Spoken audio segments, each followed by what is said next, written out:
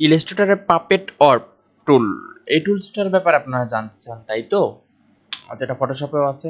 So চলেন দেখা যাক কি এই টুল সিম্পলি আমরা একটা অবজেক্ট নিলাম, যেটা আমাদের পাপেট পাপেট অর টুল হচ্ছে একটা পিন যেই পিনগুলো আমরা এই পাপেটের উপর এইভাবে দিতে পারব, এই যে, আর এই যেগুলো আসতেছে, এগুলো হচ্ছে মাস্কিং তো আমরা যদি সিম্পলি এইগুলো দিয়ে ধরাই আচ্ছা এই মাস্কিংগুলো যদি ডিস্টার্ব করতে থাকে সিম্পলি আমাদের এইখান থেকে আমরা শো মাস্কের এই চেকমার্কটা তুলে দিব।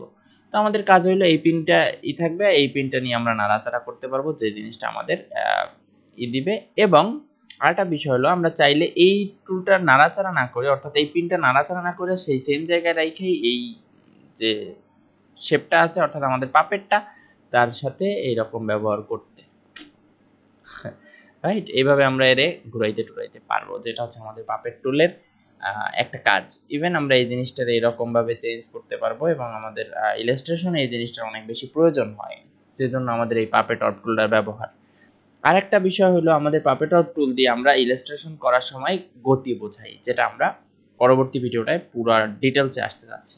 ওকে এরপর আমাদের সাথে আসছে আমাদের ফ্রি ট্রান্সফর্ম টুল এই ফ্রি ট্রান্সফর্ম টুলটা আমরা একটু দেখে আসি। খুবই তাড়াতাড়ি সিম্পলি ফ্রি ট্রান্সফর্ম টুলটা যদি আমরা ক্লিক করি, কোনো একটা অবজেক্ট সিলেক্টেড অবস্থায়, তাইলে আমাদের কি আসে দেখা যাক? আমাদের আরও চারটা টুল আসতে যাচ্ছে। এই চারটা টুলের মধ্যে আমাদের প্রথমটা হচ্ছে কনস্ট্রেন যেটা আসলে আমাদের শিফটের কাজ করে। যদি আমরা ফ্রি ট্রান্সফর্ম করতে যাই, তো আমাদের এইভাবে ফ্রি ট্রান্সফর্ম সরি এটারও ডিটেলস আসতে যাচ্ছে।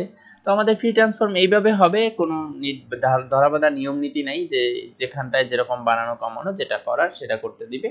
বাট যদি আমরা কনস্ট্যান্ট চাপা থাকি, তাইলে আমরা সিম্পলি এটার একটা শিফট চাপার মতন একটা ব্যবহার করতে পারব। গেল এটা দ্বিতীয় যে ব্যাপারটা, সেটা হচ্ছে পার্সপেক্টিভ সো আমরা যদি এটাতে ক্লিক করি পার্সপেক্টিভ অনুযায়ী এই জিনিসটা ছোট বা বড় হবে, যেটা আমরা চেঞ্জ করতে চাই যেরকমভাবে, সেটা আমাদের পার্সপেক্টিভ অনুযায়ী হবে। এই জিনিসটা আমাদের পার্সপেক্টিভ ডিজর্ডের কাজ। এরপর আসতেছে আমাদের ফ্রি ডিজর্ড ফ্রি ডিজর্ডের কাজ হচ্ছে সিম্পলি আমরা যেখান দিয়ে যেমন খুশি, যেভাবে খুশি পরিবর্তন করতে পারব।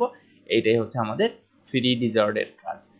সো হ্যাঁ এই আসলে আমাদের এই দুইটা টুলের কাজ পাপেটর প্লাস আমাদের ফ্রি ট্রান্সফর্মের তো এইটা তো ছিল একটা বেসিক ধারণা যেটা আমাদের যতটুকু যারা খুব তাড়াতাড়ি আছেন তারা শেষ করে ফেলান, বুঝে গেছেন এই জিনিসটা কি করে, নিজেরাই কাজে লাগান। বাট বাট বাট যারা চান এই বিষয়ে বাই ডিটেলস একটা ভিডিও মানে খুবই ডিটেলে একদম খুঁটিনাটি কোনো কিছু বাদ যাবে না, সেই টাইপের একটা বিশাল ভিডিও যেটা এখনই লেফটের দিকে ভিডিওটা চলে আসতেছে, তো ওই ভিডিওটা ক্লিক করে অবশ্যই অবশ্যই পুরো ডিটেলস দেখা যান। আর যারা বেসিক কনসেপ্টটা বুঝতে যাচ্ছেন, তাদের আশা করি হয়ে গেছে। So let's go